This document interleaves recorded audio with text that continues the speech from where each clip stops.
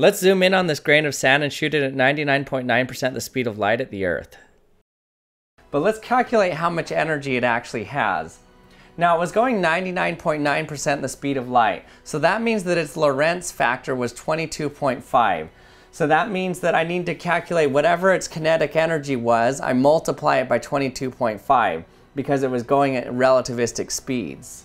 And if you do that, you calculate that you get around 20 terajoules of energy. That's about how much energy is in the fuel of a jet airliner. So basically imagine a plane exploding in the sky and that's how much energy this grain of sand would have when it hit the sky. So it looks like a small explosion happened, but not really much damage. That's not that impressive, so let's shoot Halley's Comet at it at 99.9% the speed of light.